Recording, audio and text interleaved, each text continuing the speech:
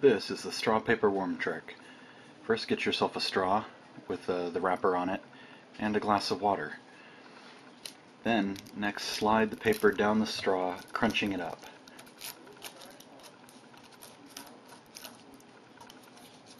And slide the paper off the straw.